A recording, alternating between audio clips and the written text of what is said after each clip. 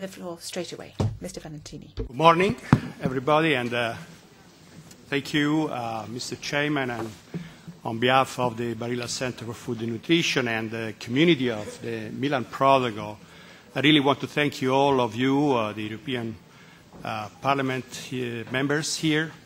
It's a great opportunity for us to uh, present uh, the Milan Protocol, to present the ideas behind, and our call for action.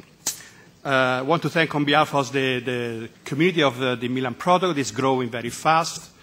Uh, we count on uh, many uh, organizations signing, already signed the Milan Protocol, uh, coming from the civil society. Some of them are very well known, like uh, WWF, uh, like Bioversity International, like Save the Children, Food Tank, and so on. And we have more than 5,000 citizens, individuals that have signed up the protocol individually. This process continues to grow, and so we are very happy that uh, you gave us the opportunity to present the protocol. This is a very timely discussion. Uh, we have a, a critical situation in the global agri-food system. Uh, the population growth is uh, exceeding the limit of the sustainability of our planet we had uh, almost 200 million people of the born of Jesus Christ. Now we are 7 billion of people, and 9 billion people will grow until 2050.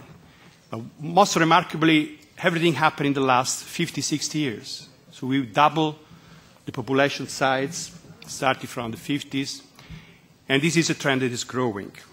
So we have to ask ourselves if the agri-food system is catching up this important challenge. Of course, he did it. He did it in the past. We, of course, have tried to feed the people, but uh, now we can say at uh, expenses in terms of environment, in terms of uh, resources, and probably we are facing a big challenge uh, in front of us uh, if we are able to feed the next people, particularly looking uh, under the pressure of climate change, the pressure of urbanization, counting that about uh, eight out of 10 people in 2050 will live in urban areas. So it's a critical situation. So there is a need of reflection. We have in front of us a great opportunity, uh, the Universal Exhibition in Milan.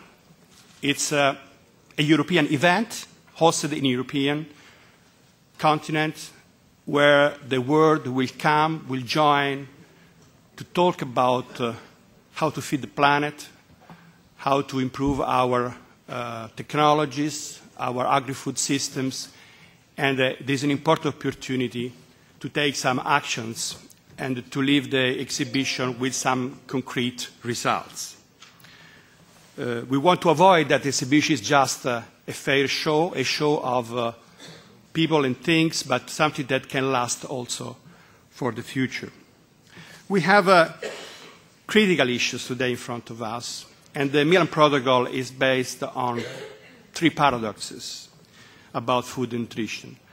The first paradox, and we heard here uh, just a minute ago your discussion, very interesting discussion about uh, fruit and vegetables in diets, is the paradox of malnutrition and obesity. We have about uh, 800 million people that are suffering undernutrition globally, and we have about 1.5 billion of people overnutrition, over that have more, more food than, than is needed. They are particularly uh, obese in many cases. And these are uh, problems that uh, um, are facing the, the life expectations anyway. So about 35, 36 million people are dying for malnutrition, lack of food, or because they eat too much and they encounter vascular diseases and their life expectation is much shorter. A second paradox is uh, about uh, the land, the availability of land for food, and what we are trying to do today with agriculture.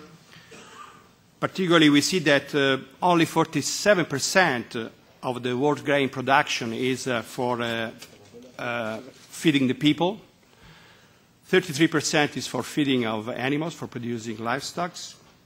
7% is uh, currently used for biofuels production, first generation biofuels, and is growing this percentage. So this is just a reflection on what is the future of agriculture. Should we feed uh, humans, cows, cars?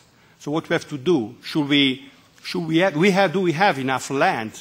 We know that land is grabbed everywhere now, particularly in Africa. So should we have enough land to sustain all of this? Uh, this has big implications as well also on diets. Many developing countries are today moving from vegetarian diet to uh, more uh, protein-rich, uh, uh, animal protein-rich diets, and this creates, of course, an imbalance. And the third paradox is about food waste. We thinking of uh, reducing uh, hungers, malnutrition, but we still waste a lot of food. Uh, today, 1.3 billion of tons of food is wasted every year. It's an amount that is able to feed about four times the people that is undernutrition. Um, food waste uh, in Europe reached about 30%, 35% of uh, total production, so it's uh, still very important. We have also food losses. That's another important issue. So lots of food products uh, don't reach the market, particularly in, very, in more uh, less developed countries. So it's really another important issue to take. So uh, although we have grown in terms of uh, having a better agri-food system, global agri-food system, we still have big challenges in front of us, uh, and we have to take uh, some, uh, some decisions.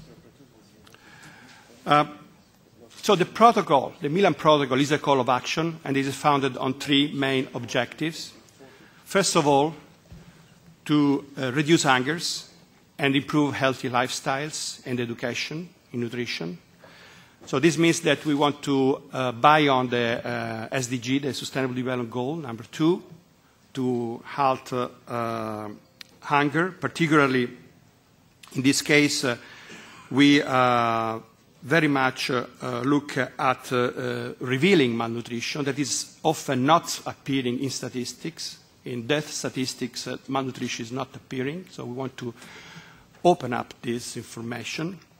Uh, we want to uh, also improve food uh, not only uh, on a year-round basis, but on a year-round basis, not only seasonal basis, because uh, also statistics doesn't count that there are periods of time in the year where there is a lack of food in many, in many poor countries, and on the average, the annual average may be uh, enough, but uh, this peaks of, of, of food lacks uh, in, during the year is an important uh, uh, driver of, uh, of uh, malnutrition, as well as uh, uh, producing education, uh, physical activities, uh, uh, more science in nutrition.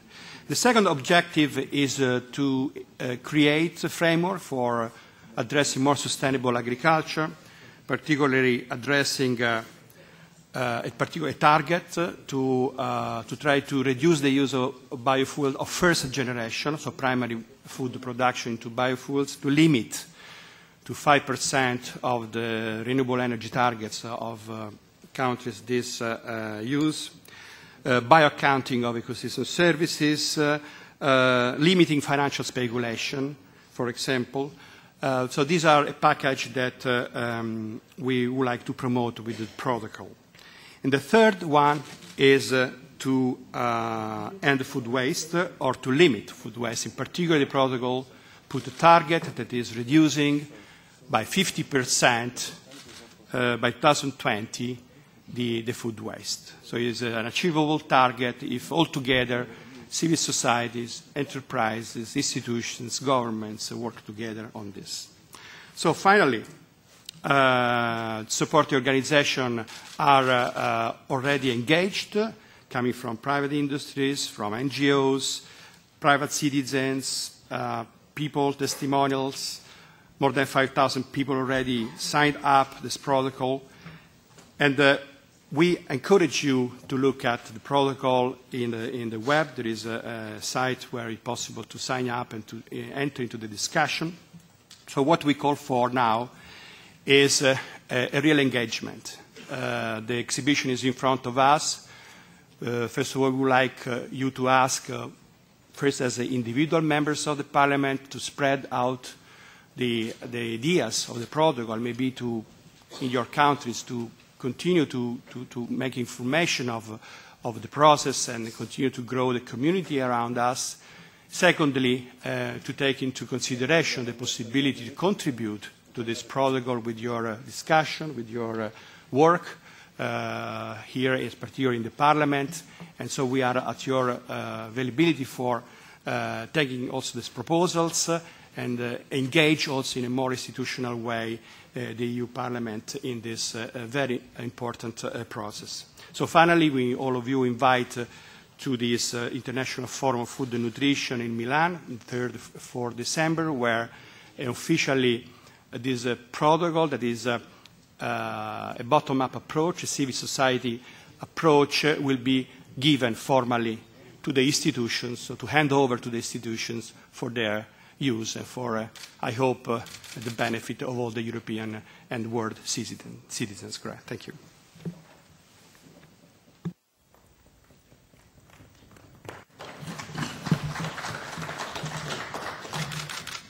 Panie profesorze, bardzo dziękujemy za tą ciekawą prezentację. Thank you very much for that interesting presentation, Professor. We have a request to you. It would be wonderful if we could have a written copy of, of that presentation uh, for our members uh, to consult, a, a copy for the members and the Secretariat. And if you have any additional material that you'd like to send to us, we would be delighted as well to receive it because uh, these are extremely interesting issues that you've been presenting to us. Unfortunately, not all members were able to attend the session today because this is the last uh, uh, day of meetings of, of the week for us, but certainly um, that way the ideas could be shared.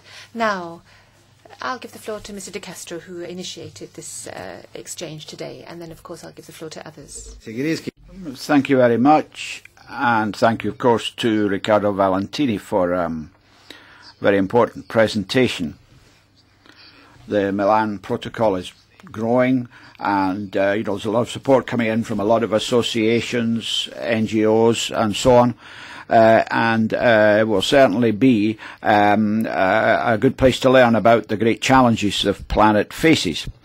Uh, we had a meeting already in this committee with um, Franz Fischler, who is chair of the steering committee, which the Commission wanted to put in place, uh, has launched the debate on these great challenges and, of course, the great opportunity for Europe, uh, which Expo 2015 offers.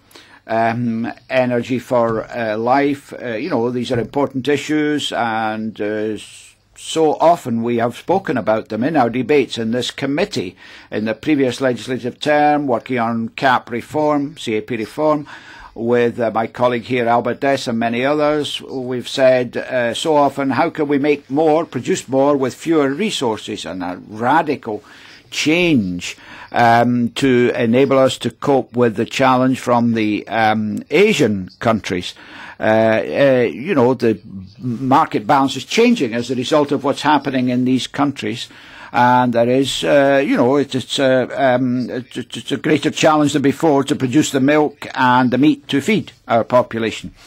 Uh, obviously, um, we have a great uh, instability in uh, agricultural markets. It's a problem for farmers. We've seen it happen in the milk market not long ago uh, with prices collapsing, and you know we've tried to prevent this in the past. Uncertainties on markets are creating difficulties for our uh, farmers, and the CAP, CAP reform we have carried through is possibly not enough to enable us to meet these challenges, get rid of the risks for our farmers, uh, and at the same time uh, produce more while managing our resources sustainably. You referred to this in your presentation, and in the Milan Expo, we will be certainly looking into that in more depth how to manage the scarce resources we have and how to cope with this tremendous.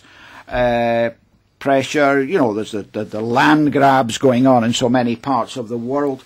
Um, uh, so much land that's not being cultivated to the full, especially in Africa, is being grabbed, you know.